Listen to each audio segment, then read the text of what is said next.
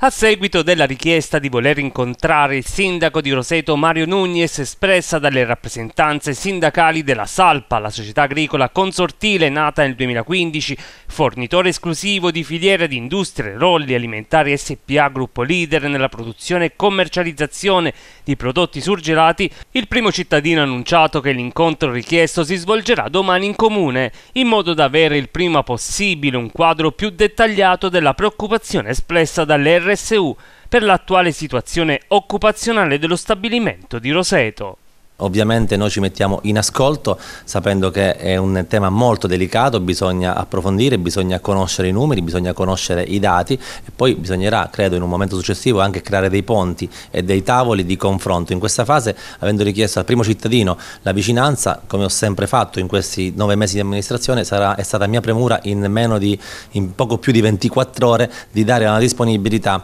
a dei rappresentanti dei lavoratori di un'azienda che rappresenta il centro, ma soprattutto soprattutto una grande storia e una grande opportunità per il nostro territorio e noi vogliamo che rimanga tale anche nel futuro.